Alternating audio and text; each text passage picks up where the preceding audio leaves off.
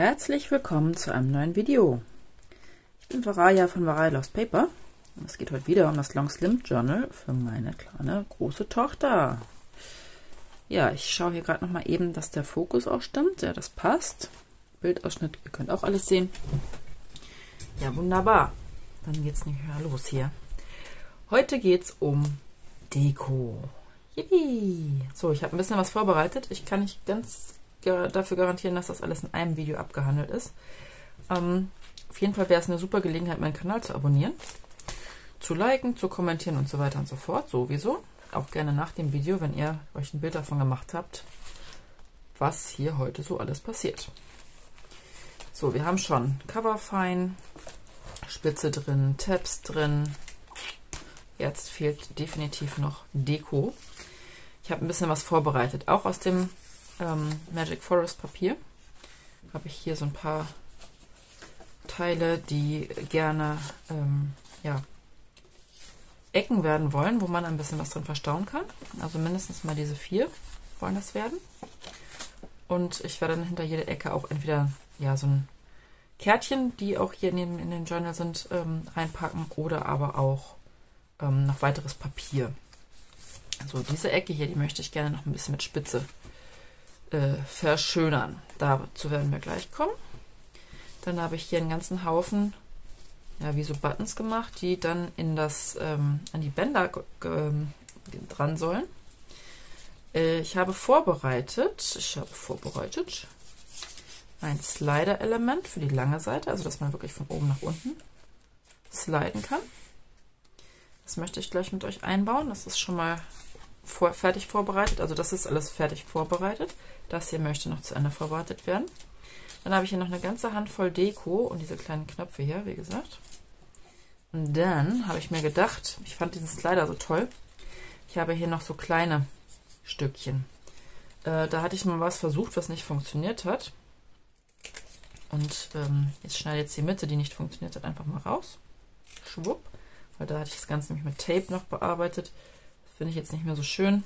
Wie gesagt, das hat halt nicht funktioniert, was ich machen wollte. Fällt unter Shit. So, und hier habe ich nämlich nochmal vier Teile, an denen man noch etwas bewegen könnte. Etwas verslidern könnte. So, und das möchte ich gerne auch mit euch bauen. Ich habe dafür auserkoren, also einmal für die dünnen Teile würde ich diese kleinen, kleinen, na komm schon Schatzi, Adventure und The Magic is in You jeweils als Slider nehmen. Und ich würde das auch so machen, dass es ähm, ja, auf einer schrägen slidet. Die lege ich mir mal hier zur Seite. Ich weiß gar nicht, wie viel seht ihr denn? Oh, da seht ihr gar nicht mal so richtig. Das ist...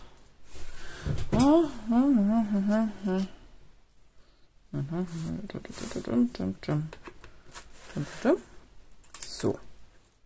Jetzt sollte das funktionieren. Swap, swap. Ähm, dann habe ich hier die beiden etwas stärkeren. Guck mal, hier haben wir sogar noch so ein Magic Spell. Das ist aber noch schmaler und filigraner als das da. Ja. Hm. Ich weiß noch nicht genau. Also das, das hier kommt mir ganz, ganz gut vor. Always Believe in Magic.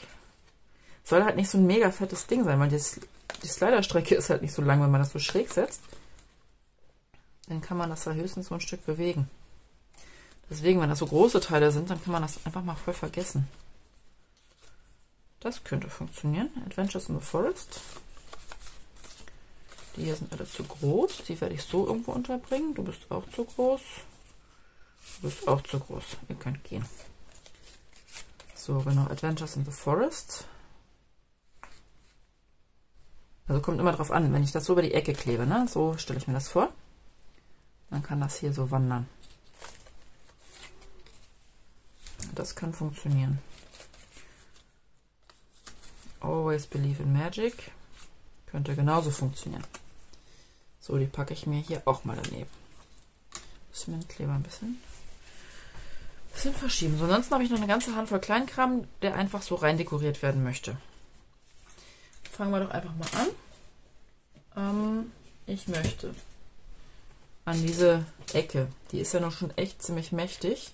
Die werde ich auch definitiv auf ein weißes Blatt kleben. Da möchte ich einfach nur, äh, ein weißes, also, also ein nicht Designpapierblatt.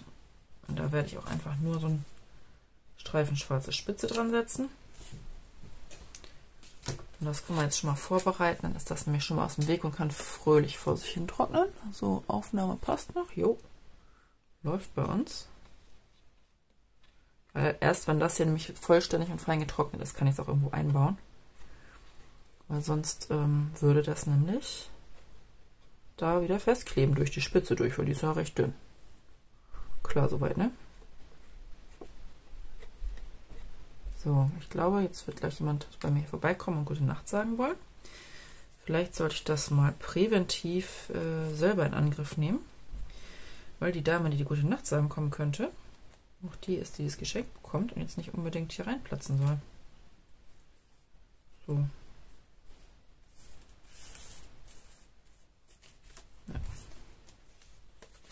So sieht das dann von da aus. Ein filigranes Spitzenstreifchen. Das gefällt mir echt gut.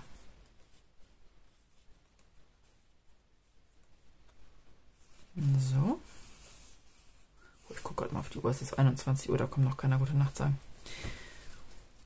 Das ist noch zu früh für die, für die Dame. So, ich möchte einmal die großen Teile hier verstauen. Eins, zwei, drei. Das ist das vierte und das Slider-Element.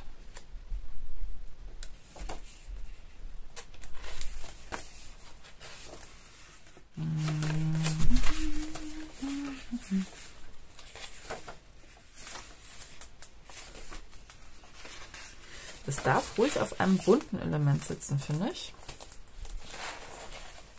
Ähm, die, sag mal, die Hemmung auf einem bunten Papier zu schreiben. Ja, ole ole.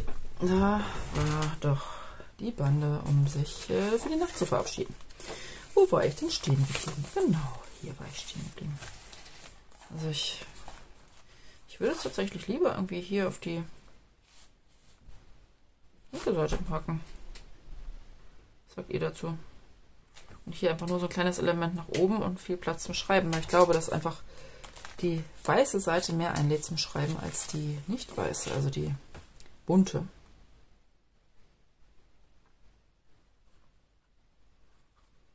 Und deswegen würde ich jetzt diese Riesenelemente eher auf eine gefärbte, eine bunte Seite setzen.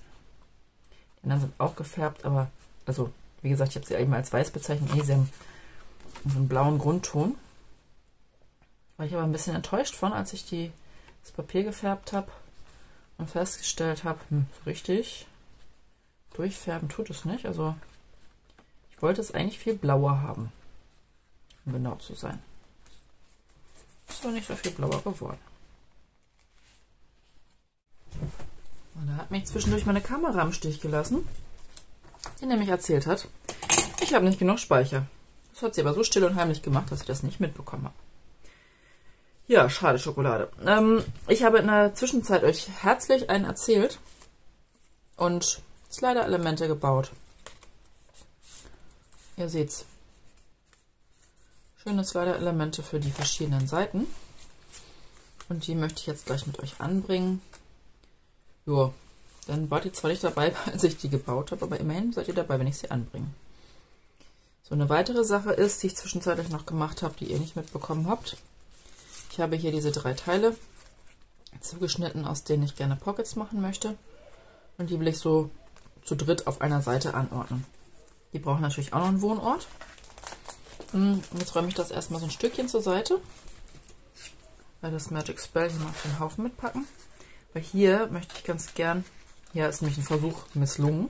Den werde ich jetzt einfach hier ein bisschen ähm, ein bisschen kaschieren. So. Ja, was ist kaschieren? Also, ich werde jetzt einfach Pockets daraus bauen und nicht mehr das, was es ursprünglich mal sein soll. Jetzt habe ich gerade meine Spitze auseinandergewuselt. Schade auch. Das ist ja nur so ein bisschen Nylonspitze. Das ist nichts Weltbewegendes. Hm. Einfach eine brauchbare, gute Bastelspitze, die einem vieles verzeiht und sich gerade abgewickelt hat. Schade. Gut. Oh Mann, ich habe euch hier so schön einen erzählt. Nicht vom Pferd, aber von, von der Bastelwelt. Worauf man bei Slider-Elementen achten muss und so weiter und so fort. Naja, das werden bestimmt nicht die letzten Slider-Elemente sein, die ich jemals baue. Deswegen verzichte ich jetzt einfach drauf, euch den ganzen Kram nochmal zu erzählen, weil ich habe den ja gerade erst vor ein paar Minuten erzählt. So, ähm, ich bereite jetzt einfach erstmal vor, die Spitze hier auf die Pockets zu, zu puzzeln. Ähm, dann kann, darf das nämlich ganz in Ruhe trocknen, bevor wir uh, das Ende hier abschneiden oder die Enden.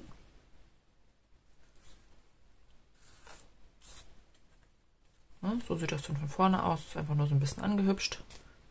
Ein bisschen ungleich. So. Darf trocknen. Hm, auf jeden Fall in diese großen Elemente werde ich von den, von den Journal Cards was reinpacken.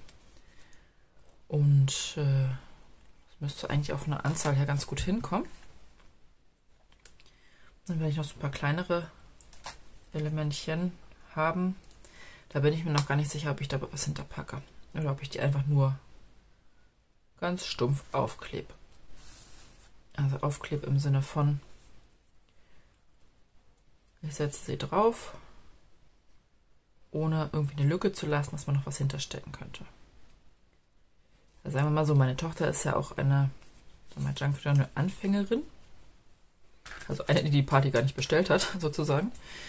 Ähm, und dementsprechend hat sie jetzt, also ist sie jetzt auch mit diesen ganzen Pockets und hier was verstauen und dort was verstauen auch überhaupt nicht firm. Das heißt, sie kann damit auch nur so halb was anfangen. Also ich denke mal, klar, wenn ich jetzt hier ihr ein paar Pockets reinpacke und dahinter schöne Papiere, wo sie einfach die Papiere alleine schon total schön findet, dann wird sie das bestimmt nutzen oder vermutlich sie das nutzen und ähm, darauf was Schönes schreiben oder so. Dafür ist es auch da. So, ich glaube, in diesem Video ist ein bisschen der Wurm drin, was so Zuverlässigkeit des Videodrehs angeht, ja, anbelangt. Ich hoffe jetzt auf jeden Fall, dass wir Ton haben. Ich mache jetzt ganz, ganz einfach mal den ersten Streich. Wo kommt das Slider-Element hin? Da kommt das Slider-Element hin. Believe in Magic. So. Und ich werde es so ankleben,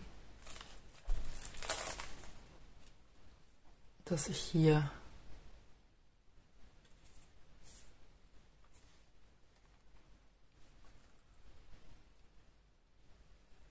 ja, dass ich die Enden auf jeden Fall vernünftig angeklebt habe.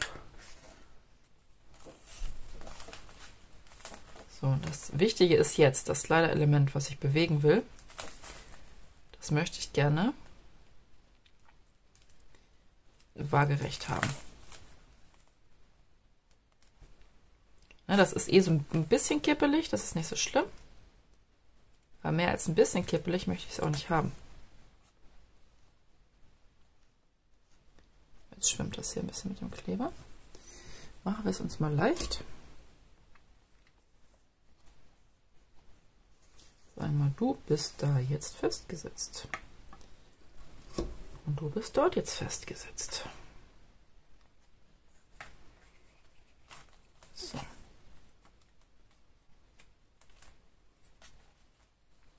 Ne, also das Ding, das ist relativ stabil in seinem, seiner Slider-Funktion. Also da habe ich nicht mehr viel Spiel rechts und links.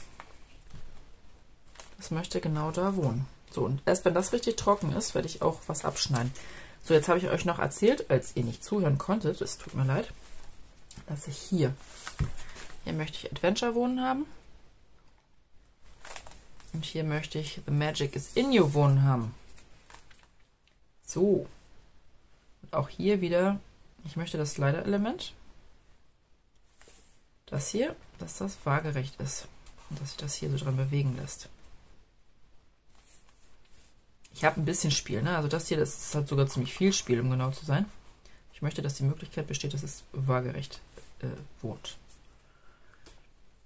So, jetzt mache ich mal hier, mache ich das Leben mal ein bisschen, bisschen anders. Jetzt hat sich das verschoben, was Mistviech. Hier einen dicken Klebepunkt hin. Und werde auch hier unten einen Klebepunkt hinmachen. Ich hoffe, dass das nicht so auseinanderquillt hier, dass ich nicht meine anderen Seiten damit belaste. Ja, ja, du kannst da oben noch rumrutschen. Du darfst noch rumrutschen, mein Freund. So, weil ich möchte mich hier auch nicht die Seite zukleben, ne? Ich habe hier eine Pocket. Eine Pocket.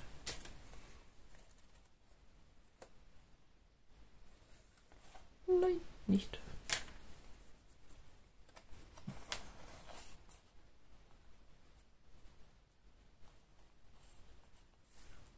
So, eigentlich der, also der Kleber, der haftet ziemlich schnell. Das muss man ihm auf jeden Fall lassen. Ein sehr zügiger, anhaftender Kleber. Dennoch kriegt man das fertig, ihn ein bisschen zu verschieben. Ja, nicht weiter verwunderlich. Es ist ja auch ein flüssiger Kleber. So, bin ich überhaupt noch da oben im Bild? Ja, ein bisschen bin ich noch im Bild. Sehr schön. Sehr schön, sehr schön. So, auch Advent äh, Adventure. Adventure möchte ich bitte waagerecht zu die Bild.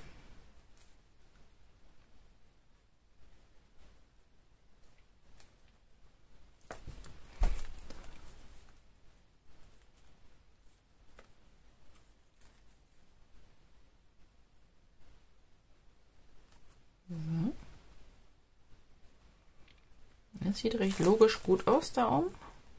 Sitz. Und auch hier ziehe ich jetzt einmal die Kante so ein bisschen hoch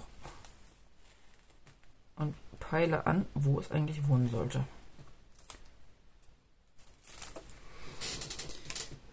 Weil die Schwierigkeit hier ist wirklich, sich nicht die Tasche zuzukleben.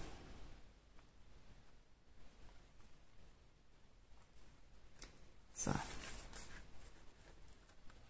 hier aus. Hier hat das auf jeden Fall funktioniert. Das ist nicht so geklebt. Das ist brav so feines Tier.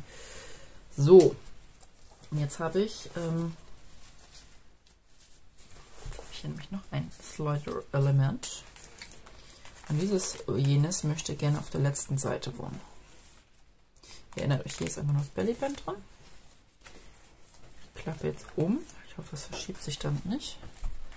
So, auch dieses hat nicht so mega viel Spiel. Das hat nur, ihr seht, ein ganz bisschen Spiel.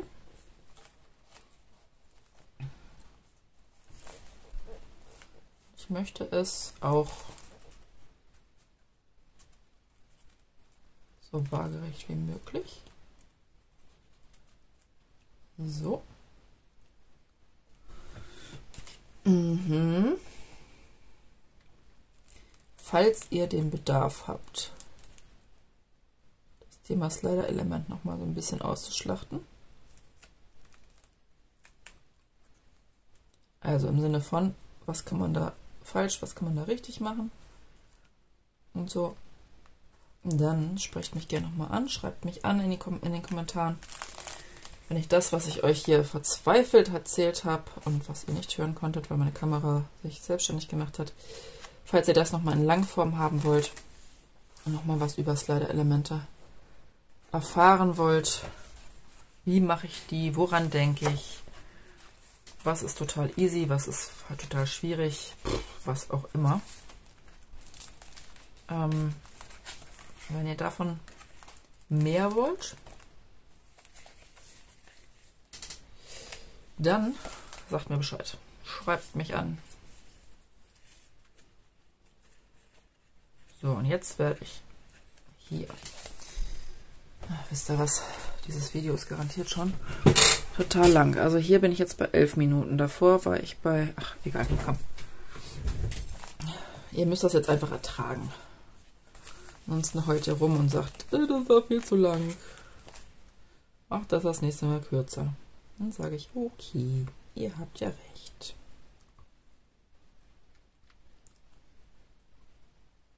So. Ich möchte jetzt hier mit euch die Knöpfe machen. Was heißt Knöpfe? In der Mitte. Ich habe so ein paar, sag mal, gescheiterte Versuche, Serviertentechnik, in der Serviertentechnik was zu machen, was ich eigentlich ganz lustig fand. Hat sich herausgestellt, das sah irgendwie doof aus. Ähm, hat aber den lustigen Effekt, dass ich jetzt hier so ein bisschen verhunztes Papier habe, was sich aber für diese Knöpfe hier wunderbar eignet. Ist nämlich ein bisschen fest, ein bisschen rau, es ist richtig griffig, also man kann es richtig gut anfassen. Mhm. Dementsprechend mag ich gerne hier diese Plättchen reinbauen. Dann habe ich mir jetzt eine ganze Handvoll ausgestanzt. Also so viel, dass es halt reicht, dass ich hier an jede Strippe so einen Knopf machen kann. Und die sind halt auch aus unterschiedlichen Teilen dieses Papiers Seite, verdammt.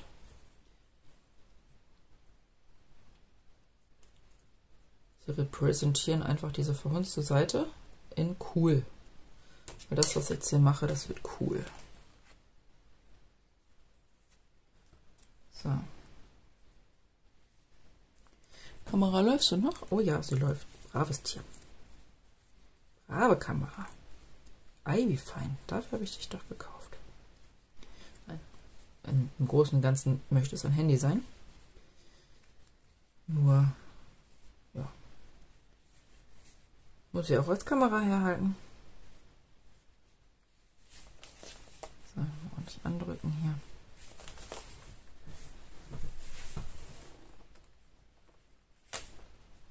Kann man natürlich auch als Lesezeichen benutzen. So, jetzt haben wir hier noch eins und noch eins und noch eins. Was macht ihr denn immer hier mit eurem Gebamsel in der Mitte?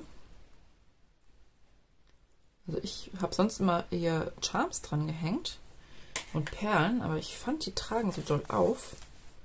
Und das fand ich jetzt irgendwie unpassend für so ein, sag mal, eher schmales Long Slim. Also, ja, genau, ihr wisst, was ich meine. Es ist ja, also, es hat ja nicht so die Dicke, sag ich mal. Und es hat auch nicht so ein... Na, es würde so ein Gatormouth auch nicht so richtig gut vertragen. Das ist ja mehr ein Heft. Das ist ja nicht so ein richtiges Buch, es ist ja mehr ein Heft. Dementsprechend wollte ich es hier nicht so voll, also nicht so, so dicke, fette Elemente reinpacken. Sondern eher so kleine, leichte. Ja, versteht, was ich meine.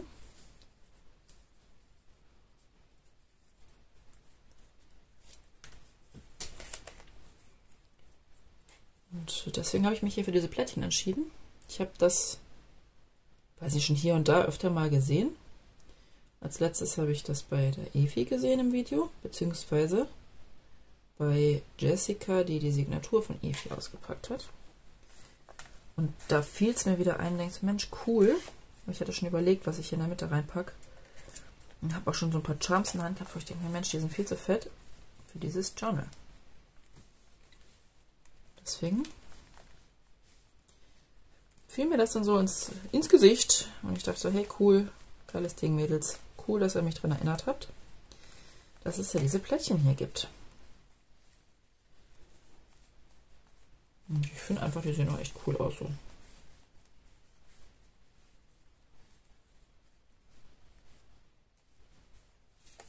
Die sind einfach, die tragen nicht auf, ich habe die alle unterschiedlich lang geschnitten. So werde ich diese Ecke hier auch umklappen. So machen. Next one in line. Hm. Oh, haben wir noch was Schweres? Ah, guck an. Noch ein Handy. Gut, dass wir hier so viel Technik rumliegen haben. Die ist immer so schön schwer. Ja, hier mit Perlen in der Mitte und so finde ich auch mal super schön. Gefällt mir mal richtig gut. Nur das Thema Auftragen.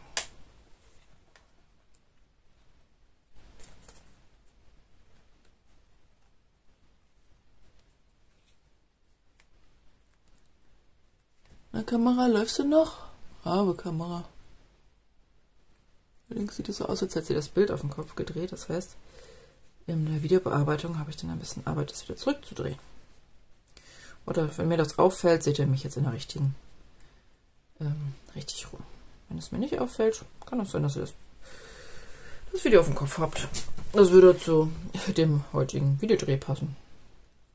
Und wundern würde mich das auch nicht.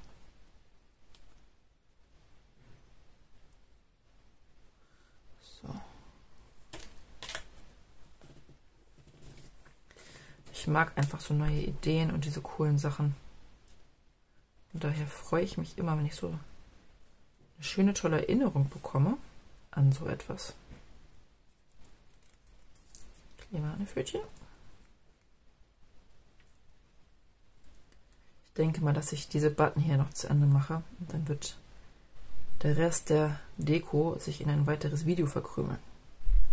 Ich dachte ja vorhin schon, dass ich euch hier so richtig einen erzählt habe. Ähm, naja, und dann, ihr kennt die Story. Dann ließ mich meine böse Kamera im Stich. Heul, heul, heul.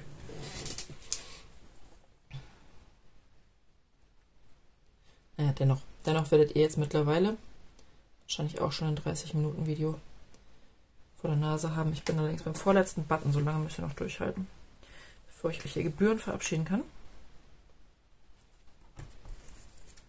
Ich bin sehr gespannt, was die neue Woche bringt, weil bei mir ist nämlich gerade Sonntagabend.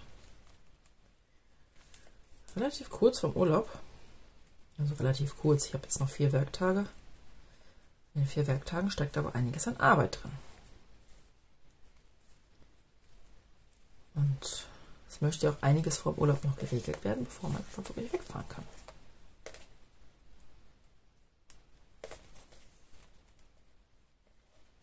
zum Beispiel dieses Geburtstagsgeschenk hier fertig. Das ist mir sehr wichtig, dass ich es wirklich noch fertig bekomme und einpacken kann, damit ich es eingepackt mitnehme, weil ihr wisst, oder ihr könnt euch vielleicht vorstellen, wenn man zusammen in Urlaub fährt und dann auch zusammen das Auto auspackt und kommt eine Kiste dahin, eine Kiste dorthin und ehe man sich versieht, hält die falsche Person ihr Geburtstagsgeschenk in der Hand.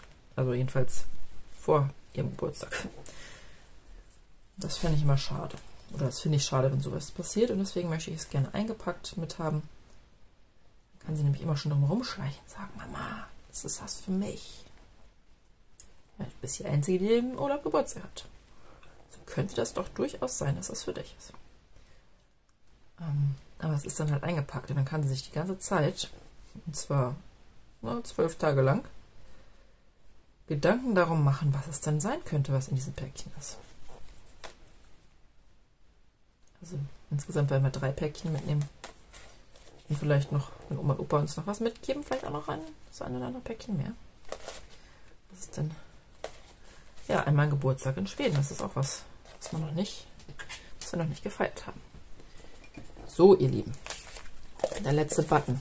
Der letzte Button hier oder Bimsel, Bimsel im Journal ist äh, fertig. Die fühlen sich mega cool an. Also es ist leider kein kein Fühlvideo. Ähm, also dadurch, dass ich hier Servietentechnik schon vorher ausprobiert habe. Also, sag mal, ich kann Servietentechnik, aber das, was ich ausprobiert habe, war halt nicht so geil. Aber die, die Oberfläche ist genauso geworden. Fällt mir voll. Gut. Mit diesem chaotischen, zusammengestopselten Video verlasse ich euch jetzt. Ich freue mich, dass ihr es bis hierhin geschafft habt, weil wenn ihr diese Worte hört, dann habt ihr es bis hierhin geschafft. Und ähm, ich sage jetzt erstmal, bis demnächst in diesem Kino. Das nächste Video wird straighter.